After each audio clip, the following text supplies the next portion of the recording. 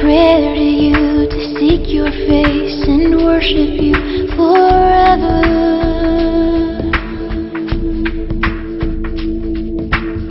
That I may know you in the secret place and dwell with you forever.